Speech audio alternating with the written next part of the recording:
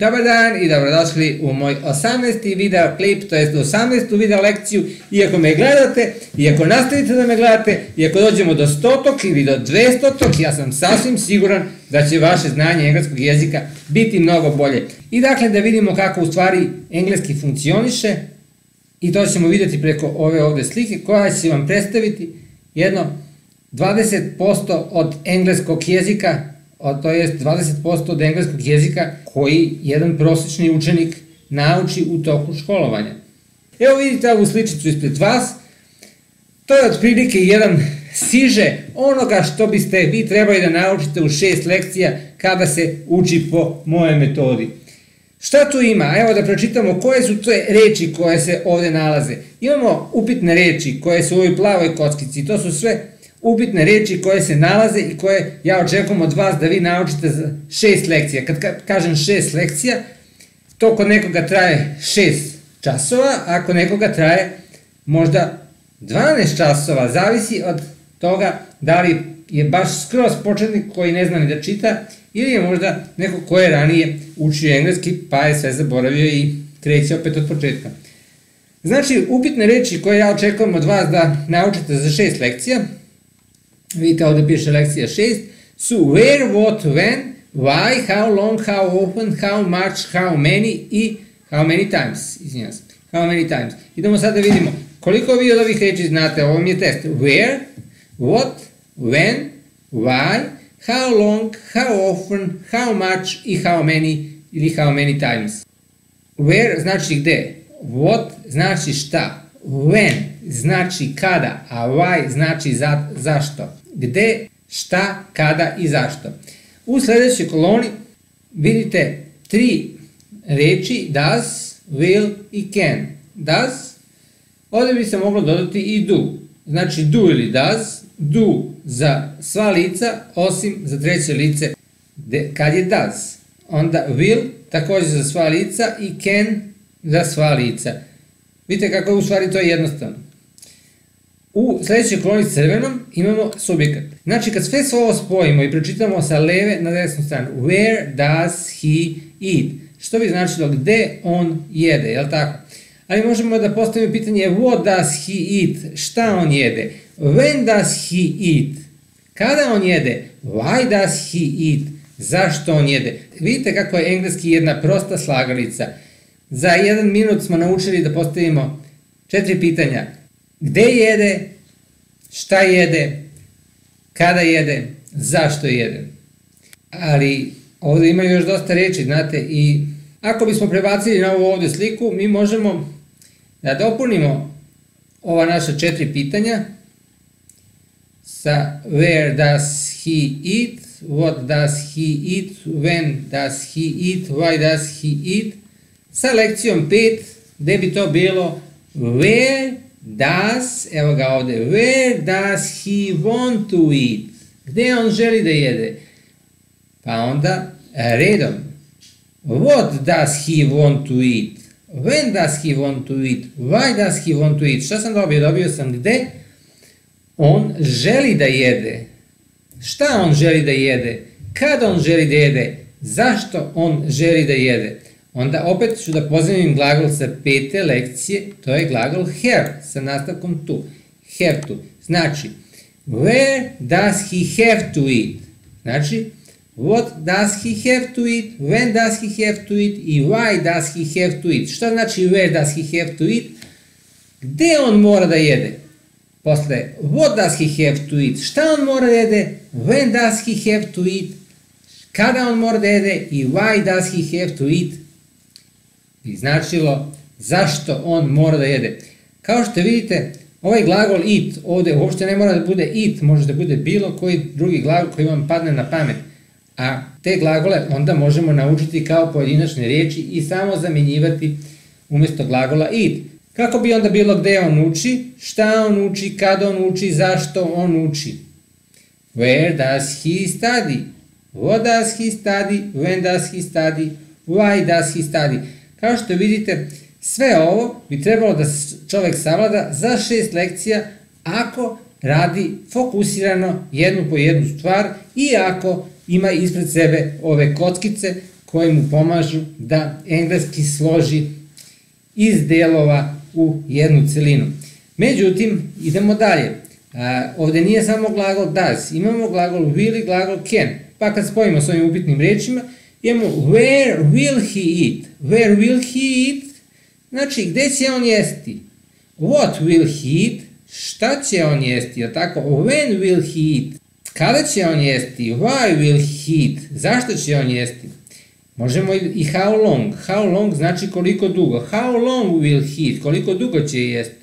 Znači, baš ne, ne možemo baš sve sa svim da spojimo, ali većinu možemo. I idemo sad na ovaj treći glagol. Where can he eat? Gde on može da jede? What can he eat? Šta on može da jede? When can he eat? Kada on može da jede? Why can he eat? Zašto on može da jede? Ili možemo da napravimo Why can't he eat? Da napravimo negaciju zašto on ne može da jede. Takođe možemo da pitamo where can't he eat? Gde on ne može da jede? Ili where doesn't he eat? Gde on jede? What doesn't he eat? Šta on jede? When doesn't he eat? Kada on jede? Kao što vidite, broj kombinacija je ogroman. Naravno da biste ovo sve mogli da kažete kao ja, potrebno je malo da se vežba i zato, zato i služe ove lekcije i kao što vidite i zato ovde postoji mnogo strana u kome se sve to provežbava. Ajde da prođemo kroz jednu od vežbi da vidimo kako to u stvari, kakve su to u stvari vežbe koje nam pomažu da, evo, može baš i ova ovde. Znači, prva rečenica je uvek na srpskom, šta ćeš čitati danas? Ja sad pretpostavljam da svi znate, e, da prevedete glagol čitati i e, reč danas, Šta ćeš čitati danas? Ovo kad čujete ć, odmah se setite glagola will. What will you read today? What will you read today? Imam odgovor da ću da, ću, da ćeš čitati a news, a newspaper, to jest I will read newspapers. Newspapers. I will read newspapers. He will read newspapers. Everybody will read newspapers. Sledeća rečenica, gde će on čitati novine, kod kuće ili na poslu? Imamo pomoć. Where, pa sad ubacujemo ovde čitati, opet vidite čitati. Znači read. Where will he read newspapers at home or at work? Ja od vas ne čekam da kažete cijelu rečenicu, već samo malo da je dopunite. Where will he read newspapers at home or at work? He will read newspapers at home. Kada će on gledati TV? When will, a oni izvinjavam se, kada će oni gledati TV? When Will they watch TV? They will watch TV from 8 to 10, evo, od 8 do 10, from 8 to 10, they will watch TV from 8 to 10.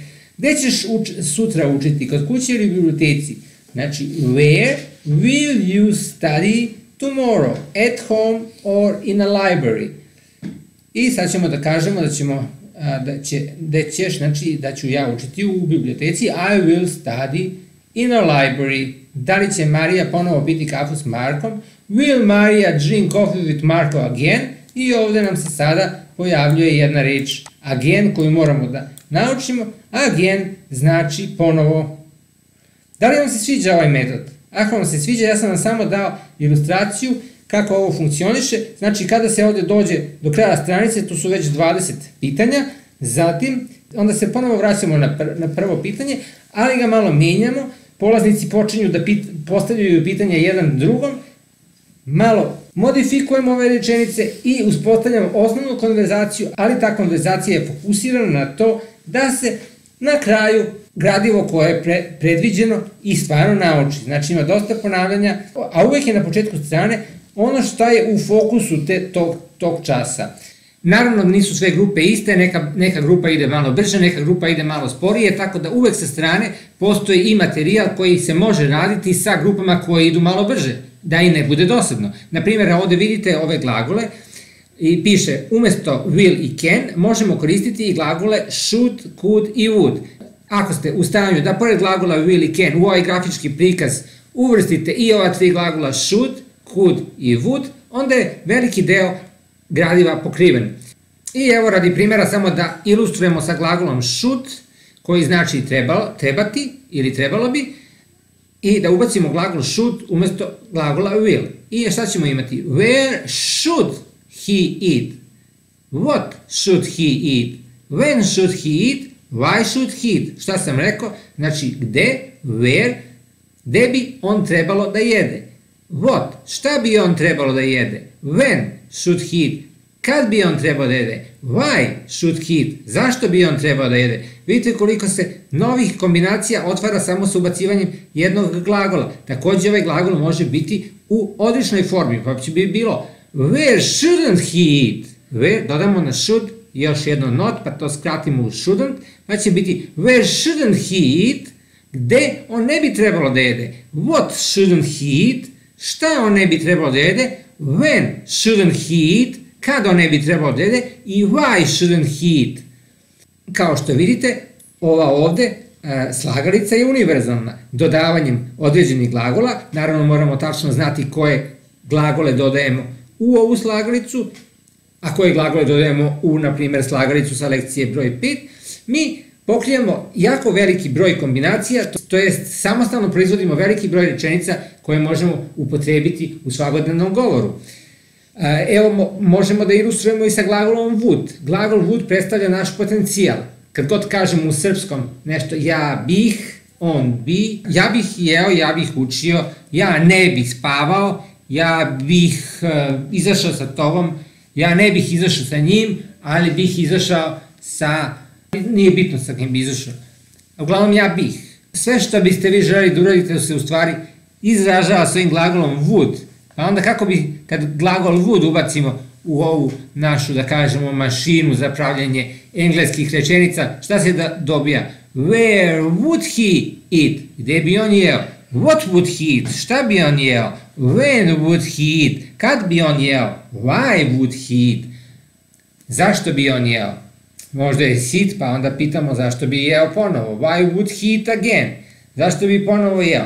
Znači, za ljude koji malo brže shvataju, na istom času, zajedno sa glagolima will i can, možemo i uraditi i ova tri glagola i možemo to takođe primeniti bez ikakvog novog pisanja vežbi, možemo menjati ovde. Znači, svaki profesor će sada moći da postavi pitanje sa glagolom should u rečenici broj 1. Umesto šta ćeš čitati danas, pitanje bi bilo šta bi trebalo da čitaš danas. Znači, what should you read today? I sad neko može da kaže, I should read newspapers.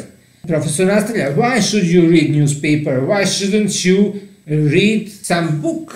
Why, why would you read newspaper? Zašto bi čitao novine? It's better for you to read a book. You shouldn't read newspaper. It's better to read a book. Kao što vidite, kombinacije su beskonačne. Skočit ćemo na rečenicu broj 3, pa da pitamo kad bi oni da gledaju TV? When would they watch TV? Ili zašto bi oni gledali TV sada, zašto ne bi gledali posle? Why would they watch TV now? Why wouldn't they watch TV later? Ajmo da vidimo sa učiti, da pitamo zašto, da potrebujemo malo zašto, why, zašto, zašto bi oni učili kod kuće, zašto ne bi učili u biblioteci. Znači, why would they study at home, why wouldn't they study in a library? Ili, why should they study at home? Zašto bi trebalo da uče kod kuće? Why shouldn't they study in a library? Ili, I don't want them to study at home, I want them to study in a library. I have something to do at home and I want them to study in a library. I tako malo po malo priča se širi, kako koji čas prođe, sve smo više i više u stanju da izgovorimo, sve, sve više kombinacija smo u stanju da napravimo i na kraju, što je najvažnije, stvorimo refleks i više nas niko ne može iznenaditi kad su nam potrebni ovi glagoli.